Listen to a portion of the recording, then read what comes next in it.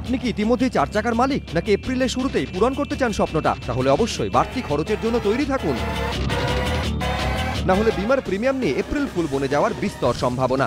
কারণ গাড়ির বিমার প্রিমিয়াম এক ধাক্কায় পঞ্চাশ শতাংশ বাড়ানোর প্রস্তাব দিয়েছে বিমা নিয়ন্ত্রক সংস্থা Insurance Regulatory and Development Authority of India বা আইআরডিএআই দু হাজার সতেরো আঠেরো আর্থিক বছরের জন্য পেশ করা খসড়া প্রস্তাবে আইআরডিএআই বলেছে, এক হাজার সিসি পর্যন্ত ছোট গাড়ির থার্ড পার্টি বা তৃতীয় পক্ষ বিমার প্রিমিয়াম দু হাজার পঞ্চান্ন টাকা থেকে বাড়ানোর প্রস্তাব নেই।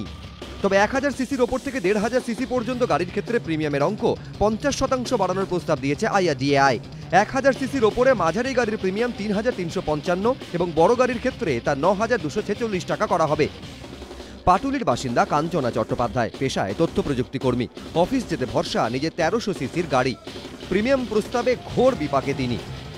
It's a type of because 50% enhancement মানে it is a huge amount for all all all the normal human beings or normal people যারা ধরুন চাকরি করে ইএমআই চালিয়ে গাড়ি চালায়। যা অবস্থা দাঁড়াচ্ছে তাহলে তো এবার মনে হচ্ছে নিজে প্রাইভেট গাড়ি রাখার থেকে গাড়ি বেচেই দিতে হবে। একই রকম সমস্যায় আইনজীবী থেকে ব্যবসায়ী সবাই।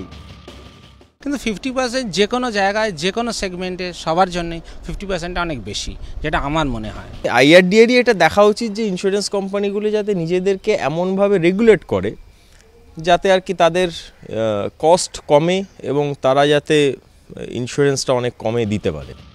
শুধু ব্যক্তিগত গাড়ি নয়, বাণিজ্যিক বা মালবাহী গাড়ির প্রিমিয়ামও পঞ্চাশ শতাংশ পর্যন্ত বাড়াতে বলা হয়েছে আইআরডিআই এর প্রস্তাবে। এই প্রস্তাবে বিপাকে প্রসূন সিংহ। ইচাপুরের এই বাসিন্দা তার দু সিসির গাড়ি চব্বিশ ঘণ্টা ব্যবহার করেন বাণিজ্যিক কাজে। কিছুদিন আগে টাকা নিয়ে প্রবলেম ছিল।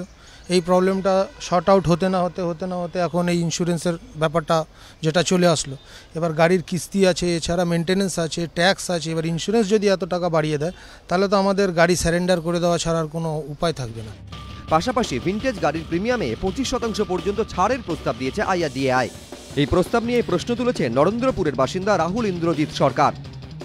ভিন্টেজ গাড়ির ইন্স্যুরেন্স বেশিরভাগ গাড়ির ইন্স্যুরেন্স থাকে, না কেননা গাড়িগুলি চালানো হয় না, ওগুলি বেশিরভাগ সাজানো থাকে।